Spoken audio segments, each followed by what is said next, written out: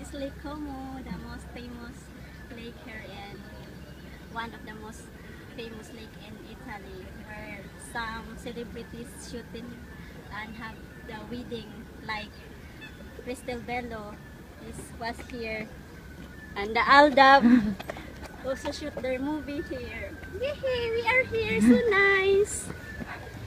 It's great to be here. I'm lucky to he- to have here. Ah. Come and join me. Hi, mauni ang Kumulik kumulik- din sa Italy. Nindot kayo. Famous kayo siya dire. Famous na ang mga celebrity. Din Dini. ang Aldab gi-shooting. Dini pud gikasal ang anak ni eh, eh, Dr. Rabelo. Si Crystal Bello. Oo, Diri wala. laibot na. Na, na, sakay. Kuya, musakay Di, meron sakay. sa bot. Musakay mi pa Musakay mi dito dito. Katuba. Dito dito sa ibabaw. Dito sa ibabaw, pwede ka kayo Tuktok, cable musakay ka car. Cable car na sa kinaibaban sa puntod. Nice. Turista mi ani, turista, Turista, sa Italia.